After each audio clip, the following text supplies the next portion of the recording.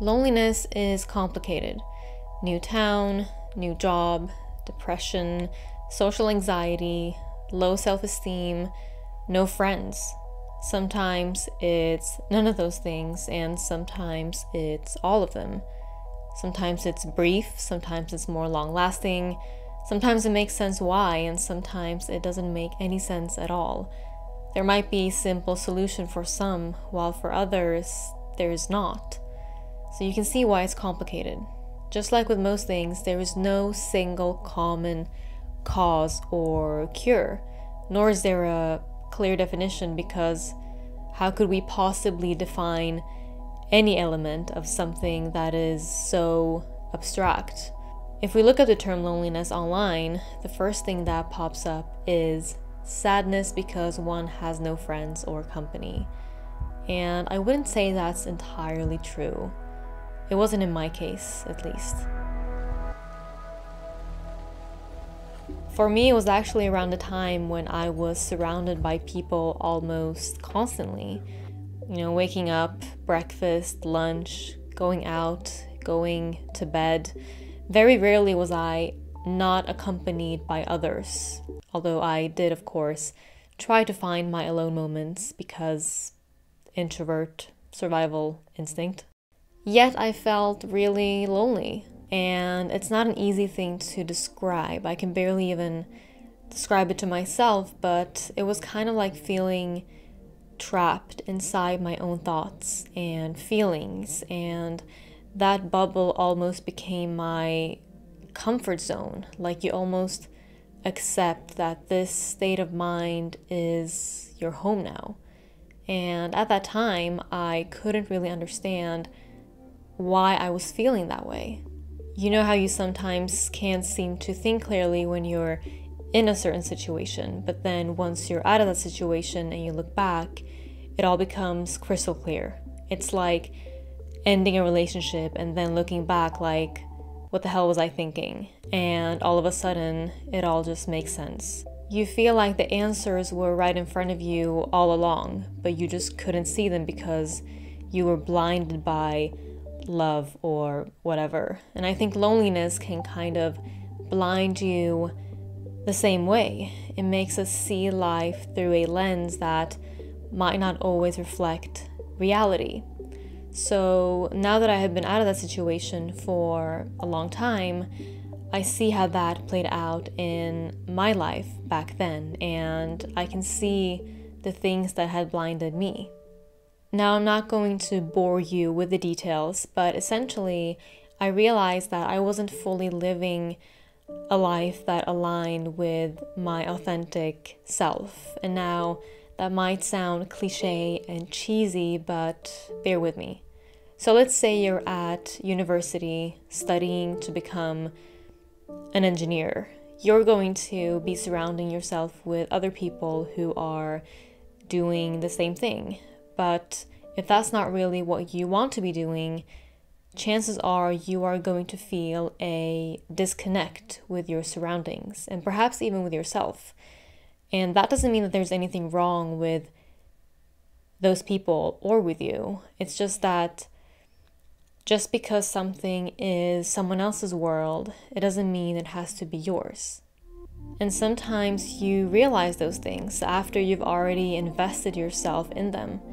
And sometimes we talk ourselves into thinking that we should be wanting this thing because, I don't know, others want it, or because it would be wrong not to want it. Like, we should be grateful. And other times, the thing that we're doing used to be exactly what we wanted, but we're human beings. We grow, we learn, we change, and that's just life.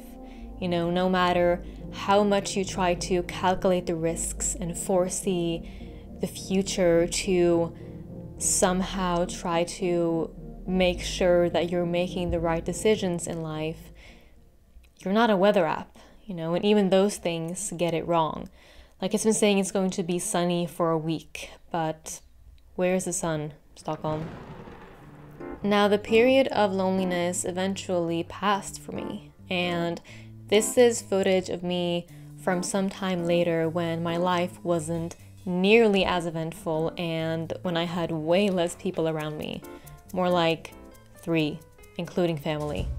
Now, before I share my thoughts on what I think happened between then and now and what I learned, I do want to make it clear that I don't have all of this figured out. I am no therapist or psychologist. I'm not qualified to give any professional advice other than the time that I spend researching for these videos. I'm just someone sharing their story in the hopes of someone finding something valuable in it. And even if you don't, maybe you like the music or the visuals or something. Anyway, Here's what I learned.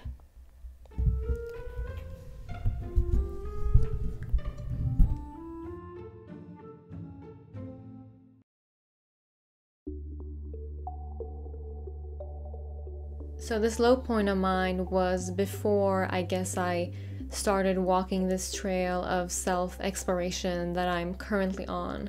And perhaps some people don't really care about getting to know themselves and they will do fine. You know, everyone is different.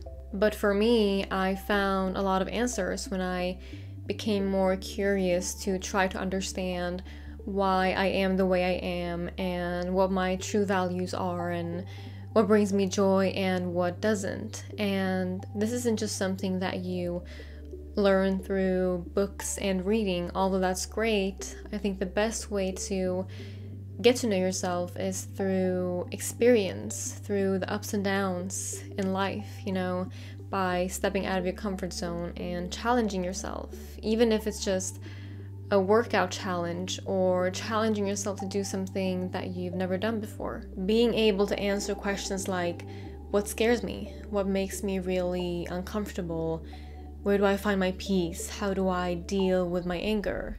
Now, how is this related to loneliness? So, I think that if you don't explore more of who you are, you'll just kind of get dragged along in life and you will end up in places that you don't want to be with people whose company you don't really enjoy, which will then lead you to feel like you don't belong, which might end up with you feeling lonely. Or perhaps you will end up nowhere and with no one. Again, because you don't know where you would want to be or what kind of people you would be interested in meeting. So instead of letting life lead you, you should be the leader of your life. Another part of this is that understanding yourself better will help you understand other people better in general as well. And there's been studies on this. I can link some in the description if you're interested. But what I've found is that in understanding other people better, not only makes it easier to navigate through all the shallowness, but it also welcomes the opportunity for deeper human connection, which ultimately is one of the most meaningful things that we can have in life. I read somewhere that the opposite of loneliness is meaningful connection, and I buy that, you know, not only with others, but with yourself as well. And ultimately, I've realized the importance of doing what I want to be doing rather than doing what is expected of me. And now I'm not talking about taking responsibility and doing the boring stuff that are our obligations. What I'm talking about aligns more with the engineering example that I touched on earlier. We don't even always realize it, but a lot of the decisions that we make are based on some sort of norm that we're trying to follow or some sort of expectation that we're trying to live up to, whether that's on a societal level or if it's just in your family, rather than doing what we feel in our hearts, you know? In other words, we're letting other people's expectations influence or even determine, you know, our decisions. And those other people can be people we don't even know, you know, people who follow us online that we somehow feel like we need to prove something to. And we do this all the time. The degree we choose, how we choose to spend our money, how we choose to spend our weekend or our birthday. You know, we try to please others at the expense of our own pleasure. And it's like people who throw big birthday parties or weddings with a bunch of people who they don't even really care about and who don't even really care about them and they don't even really enjoy themselves because they're not doing what they actually want to be doing, but rather doing it to prove something, either to themselves or to others. And that's not what I would call fulfillment. And reality is that no one really cares that much about what you do. It's like when you go to the gym and you think that everyone is staring at you, when in reality, most people are just focused on themselves. I promise.